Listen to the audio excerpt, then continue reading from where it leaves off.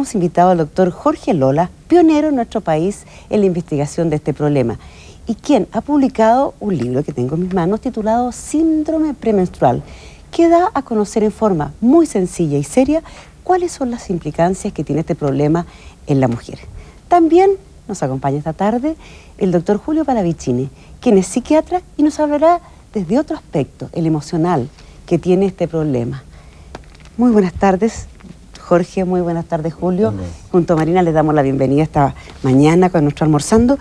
Y de inmediato, Jorge, eh, quiero decirle que su libro es muy bueno. Quiero decirle que usted también alude que estas estadísticas que yo he leído, como para Chile, también son internacionales, que usted se ha hecho eco en parte de eso. Y luego preguntarles cuáles son los principales. ¿Qué es lo que significa el síndrome premenstrual que usted ha escrito en forma magistral en su libro?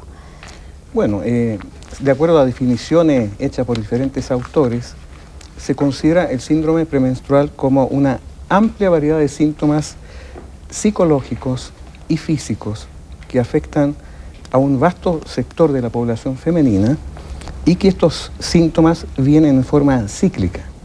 No necesariamente van a ser premenstruales, porque si bien en una etapa inicial, cuando la enfermedad está en sus comienzos, estos síntomas son premenstruales, a lo largo de los años muchas mujeres confiesan que prácticamente tienen 15, 20 días e incluso casi todo el mes. Por esa razón, algunos autores han preferido llamarlo síndrome cíclico, en el sentido de que son síntomas que recurren cíclicamente todos los meses y no necesariamente solo en el periodo premenstrual. Ahora estos síntomas abarcan áreas psicológicas y áreas somáticas. Y eso lo podemos exponer más adelante mostrando algunas láminas en el libro. Fíjese, doctor, que la mejor forma de entender los problemas siempre es conversar con una persona que haya sufrido ese problema. Y yo por eso quiero conversar con Marcela. Marcela, te presento a los dos doctores que están compartiendo con nosotros, Julio y Jorge, y queremos saber tu testimonio. Hola, Cecilia. Eh, buenas, buenos días a todos. Eh, mi testimonio es el siguiente. Yo ¿Todavía no viene? Empecé con dolores fuertes, alrededor de los 13, 14 años. Y bueno, calmándolos con calmantes, con guatero, quedarme en cama. Y me decían, cuando tengas tu guaguita se te van a pasar estos dolores y todo, cuando te cases y tengas guaguita. Tuve dos niños y en vez de pasárseme los dolores, se aumentaron bastante más al punto de que tenía que llegar a la clínica urgencia con calmantes a la vena para, para que se me pasaran estos dolores. Además de los dolores tenía eh, irritación, tenía depresiones, sufría de, de, ¿cómo se llama?, de, caída de pelo, el cutifeo, la, la menstruación me duraba entre 10 y 14 días, o sea, lo pasaba pésimo, realmente mal. Estaba, y, los médicos me decían que era algo normal, que, que había mujeres que sufrían más que otras y que tenía que acostumbrarme a vivir con esto. Y Así que me empecé a hacer la idea de que tenía que, vivir con esto hasta que me llegara la menopausia, no me quedaba otra solución. Hasta que un día, gracias a Dios, llegó a mis manos un, reportaje del doctor Lola y mi marido me dijo, mi marido me dijo, mira, esa eres tú, me dijo. Lo leí y era, eran todos mis síntomas que yo sufría. Marcela, no sabes cómo te agradezco este testimonio porque en realidad es exactamente lo que nos han confesado muchas pacientes. Yo te agradezco y te deseo lo mejor y que sigas nuestra entrevista. Muchas gracias y un, saludo especial al doctor Lola. Doctor, hágase cargo de su saludo. Jorge, o sea la vida. Gracias. Gracias, Dios. Eh, Jorge, o sea, este es un típico caso de una mujer que empieza a los 14 años a lo mejor cerca de sus primeras menstruaciones con este problema y a lo largo de sus años después de ser madre va aumentando el periodo en que ella se siente mal, molestia, incluso molestia eh, que podrían ser a cargo del doctor Palavicini, ¿no? De molestias emocionales, irritación, incluso puede costar un matrimonio, pienso yo. Eh, ¿qué, ¿Esto es hereditario, doctor? Varias preguntas bien cortitas. ¿Hereditario? Podríamos decir que habrían factores hereditarios porque se ve con mucho mayor frecuencia esta, esta problemática en aquellas hijas de mujeres que lo han padecido. De tal manera que muchas pacientes me dicen, mire, mi hija que tiene 18 años ya está con estas molestias. ¿Se pone más severo con la edad? Tiende a agravarse con los años y con los partos especialmente y con una serie de otros eh, factores como por ejemplo eh, eh, a veces uso de anticonceptivos orales, en algunos casos puede desencadenar el síndrome. ¿Y cómo llegó usted a descubrir esto? Porque no, es, no está extendido, digamos, a todos los, los tratamientos que se están haciendo actualmente. Bueno, yo ¿Cómo descubrió esta cosa? Fue quizás producto del azar, en cierto modo, y producto de, haber estado eh, involucrada en un área eh, como es la detección precoz del cáncer, que requiere, digamos, de ciertas técnicas microscópicas de diagnóstico, ya sean citológicas o, colposcópicas. Entonces me llamó profundamente la atención la alta frecuencia de esta patología inflamatoria y empecé a darle atención. Y en la medida que fueron transcurriendo los años, pude observar que tratando estas afecciones, estas molestias tendrían, tendrían a mejorar o a desaparecer. Ya, o sea que la inflamación del útero sería la causa de... ¿Hay una mujer sabe que, sufre este problema, doctor? ¿Y cómo sabe cuándo es grave? Lo que está preguntándole Marina, justamente, ¿cómo una mujer sabe que sufre este problema? ¿Por qué tanta gente le cuesta determinarlo? Y a los médicos incluso, de otras especialidades que la suya, doctor.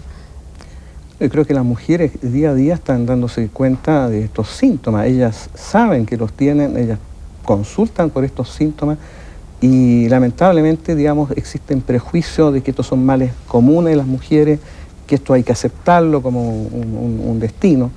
Y sin embargo, bueno, han aparecido últimamente muchos médicos que ya están poniendo la alarma, que esto no es una eh, situación normal. Doctor eh, Paravicini, ¿a usted le ha tocado experimentar eh, esa consulta de la señora o la niña que llega y le dice que tiene tal o cual depresión o problema?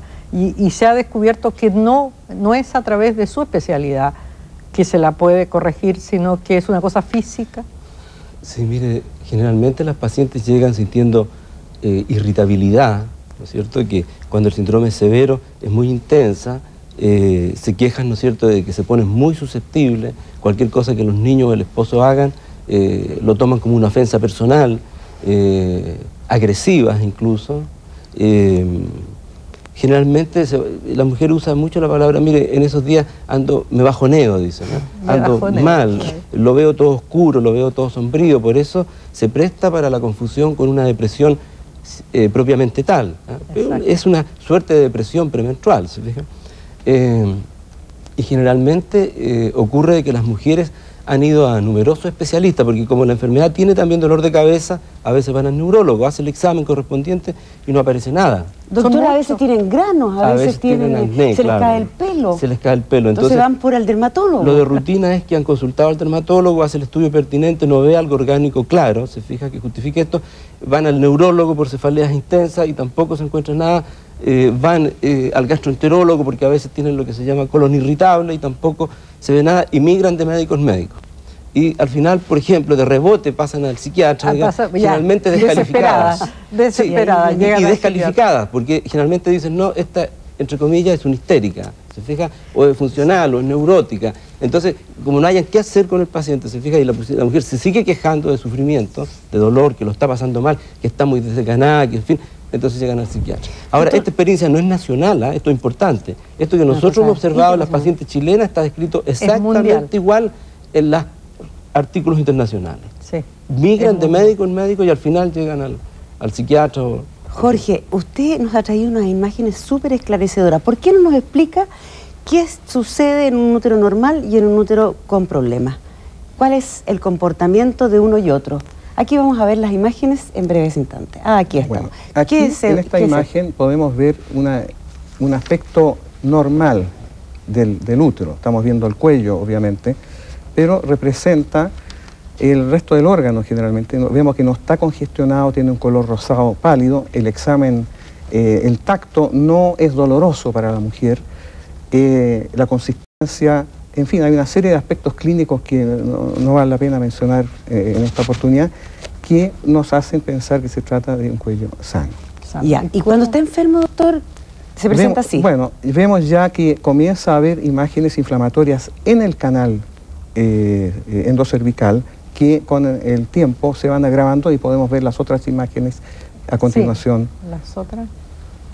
Aquí ya vemos, aquí por ejemplo, esta es una imagen muy típica de una mujer que tiene síndrome premenstrual en que vemos un cuello completamente inflamado y vemos cómo hay una protuberancia prácticamente que está empujando el orificio cervical hacia abajo, formando prácticamente un verdadero adenoma por la gran cantidad de glándulas dilatadas y quistes de retención o de Nabot.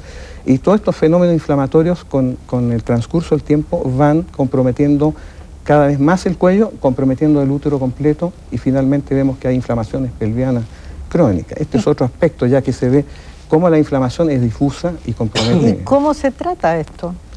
Bueno, el tratamiento es eh, bien elemental la idea, o sea, hay que buscar los agentes infecciosos que puedan estar involucrados.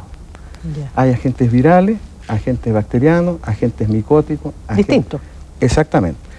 Pero estos agentes por lo general han estado actuando durante muchos años, de manera que no ganamos mucho con erradicarlo. O sea, el dar antibióticos cuando hay una lesión crónica solamente va a destruir los, los agentes biológicos que están presentes, pero no repara el daño y ya la alteración de la función del útero y eso requiere de ciertos procedimientos. Ya, eso es más largo. Es, más largo. por eso que decimos que no es fácil tratar esto. Por lo menos necesitamos unos tres meses y en los casos más difíciles nos hemos grabado seis meses ya y a veces más. Y entonces, doctor Parravicini, usted no tiene nada que hacer ahí después que arregla la situación. No, la verdad es que cuando llegan a uno con el... Y, yo hago el diagnóstico de que es una depresión premenstrual, eh, hice un caso grave, van del doctor Lola y Realmente uno ve Él lo mejora y usted se queda sin Oiga, doctor, pero muchas veces llegará la pareja ya con su patrimonio roto, porque usted dice que esto a lo largo del tiempo, si no es tratado, como dice el doctor Lola, esto va aumentando y toma 15 a 20 días del mes, ya la relación de pareja con una mujer que se siente siempre mal, que está deprimida, que puede tener hasta maltrato con los niños, bueno, eh, tiene también maltrato con su marido, por ende. Por, lo tanto, que esa pareja puede estar destruida por no haber visto a tiempo y detectado. Mire, es curioso, fíjese que eh, yo he visto varios casos que yo he diagnosticado y que los he enviado al doctor Lola. Eh, después que la paciente se mejora, se produce una verdadera luna de miel en la pareja. Qué buena noticia. La, felicidad, ¿no? la felicidad de la mujer eh, cuando el marido sabe, para empezar, que imagínese usted oiga, un hombre que llega a la casa y se encuentra con una mujer agresiva, susceptible, irritable. me acuerdo un caso tan ejemplar, en que un hombre puede tratando de, de, agradar a su mujer, llegó con una caja de chocolate. Entonces abrió la puerta y aparecieron los niños. Entonces los niños le empezaron, vieron los chocolates y le empezaron a pedir. Entonces, bueno, él le pasó unos pocos chocolates y llegó con el resto de la casa, de la caja, a donde su esposa. Entonces la mujer que estaba en esos días difíciles, oiga, miró los chocolates y le dijo, pucha, me dejaste los más chicos, mira, oh. quería que me trae, y se los tiró. ¿No es cierto? Y no crea que estoy exagerando, porque hay casos de mujeres que han intentado ahorcar a los hijos, que le lanzan cosas por la cabeza a los maridos. Mire, una vez llegó una colega, oiga, que me dijo, ¿sabe? El marido lo había mirado y le dijo, mira, no tengo amante, le dijo. Todavía te quiero. Quiero a los niños y quiero a mi familia. pero me voy a ir, porque si sigo contigo me vuelvo loco, me voy a suicidar, le dijo.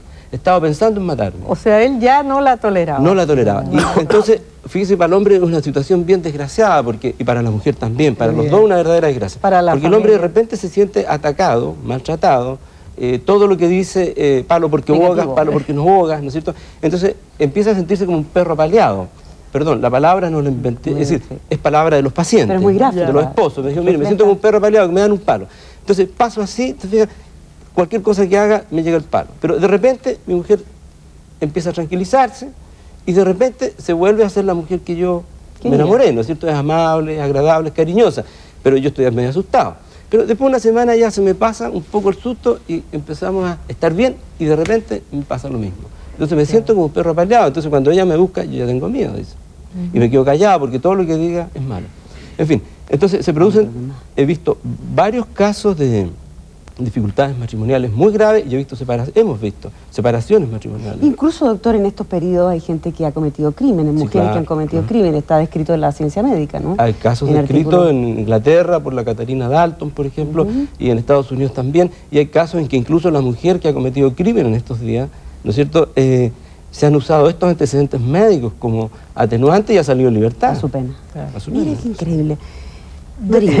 Doctor, eso significa que el útero, que al parecer no estaba considerado como causante de ninguno de estos problemas, es realmente vital en, las mujeres. ¿eh? El estado en que se encuentra el útero. Bueno, la, experiencia de todos estos años trabajando en esta área me permite, digamos, eh, pensar, digamos, con bastante fundamento, que el útero es un órgano que juega papel muy importante en la eh, parte emotiva de la mujer y en la salud. O sea, la enfermedad del útero no solamente tiene repercusiones locales a nivel pelviano, sino que también a nivel general. De manera que creo que es un punto de vista interesante de ser considerado. O sea que habría en el fondo con problemas de diversa índole, porque si aparecen 100 distintos síntomas que podrían estar indicando eh, esta situación, eh, habría como que empezar por allí y después irse a los especialistas en otras cosas. Empezar por usted, doctor, dice. Pienso, que es más fácil partir por, por el tronco que por las ramas. ¿Y hay edades críticas, doctor?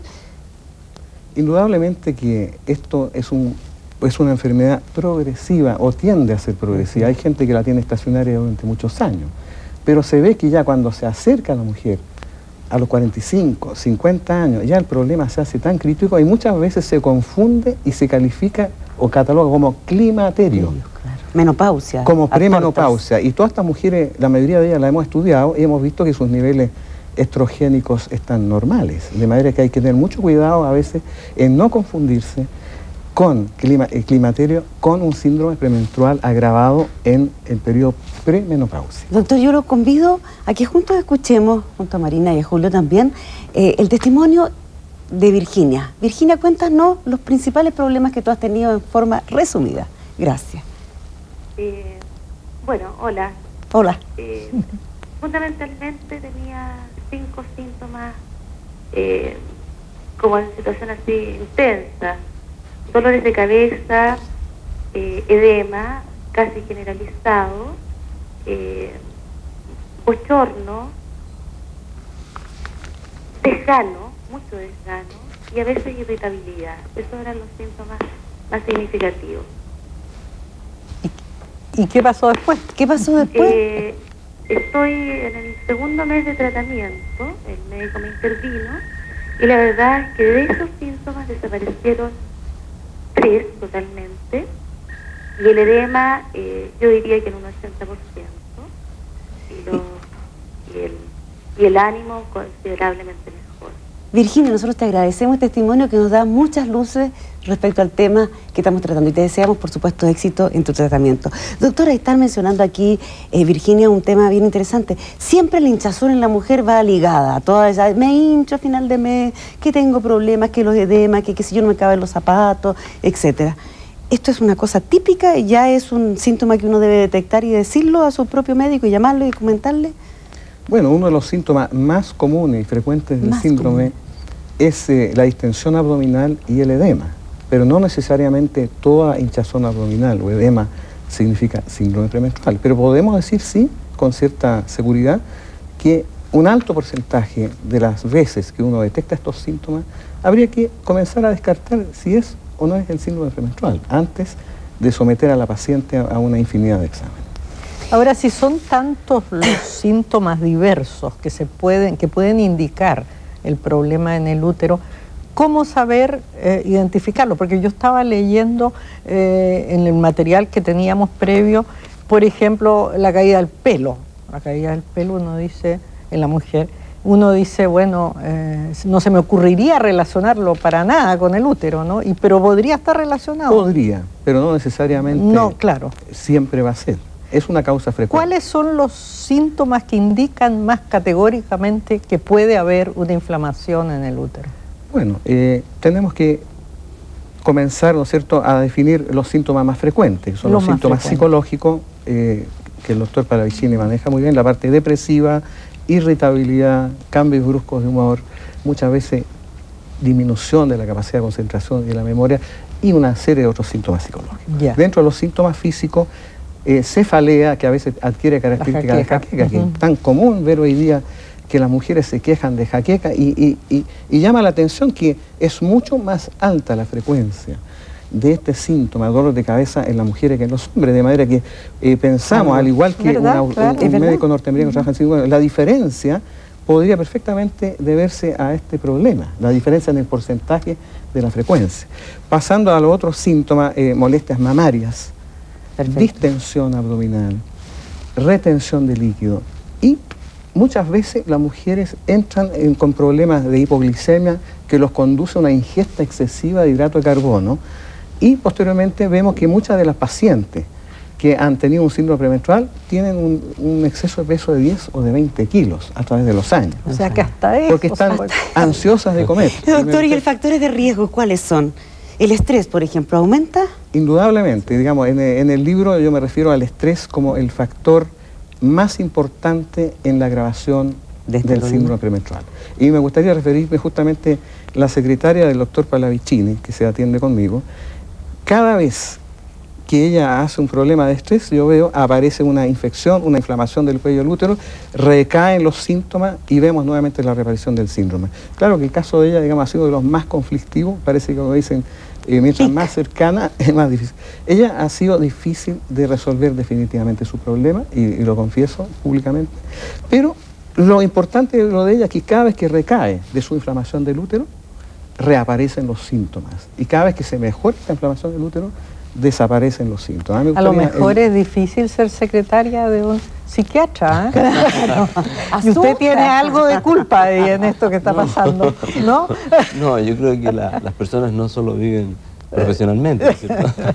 Pero usted advierte los cambios, las diferencias, ¿eh? en, psicológicamente hablando, según las etapas menstruales, digamos, de la, de la mujer, ¿verdad? Mire, nosotros llevamos varios años mirando estos casos. ¿eh? La verdad es que ya llevamos alrededor de cinco años que yo estoy trabajando con el doctor Trabajando en conjunto. Entonces para mí no es difícil en realidad, yo me doy cuenta inmediato, ¿eh? hasta por, el aspecto de la presentación física. ¿eh? La sequedad en el pelo, la piel seca, ¿no es cierto? Las uñas quebradizas, en fin, un cierto edema que hay y, un aire sombrío, en fin, y irritable, sumamente irritable, ¿no es cierto? Oiga, doctor, pero ahí puede agravar o desencadenar cuadros psiquiátricos latentes esta síndrome premenstrual? Mire, hay demostraciones bien claras en la literatura internacional de que, por ejemplo, la enfermedad maníaco-depresiva, eh, la asociación de enfermedad maníaco-depresiva eh, es muy grande con síndrome premenstrual. O sea, muchas pacientes que tienen una psicosis maníaco-depresiva muy grave tienen además, cuando se lo estudia, un síndrome premenstrual y eso dificulta. A, nosotros nos ha tocado ver pacientes, por ejemplo, que han sido tratadas, muy bien tratadas desde el punto de vista psiquiátrico, de la depresión y de la manía, pero sin embargo la enfermedad sigue ciclando y se estaba pensando en hacerle electro, por ejemplo.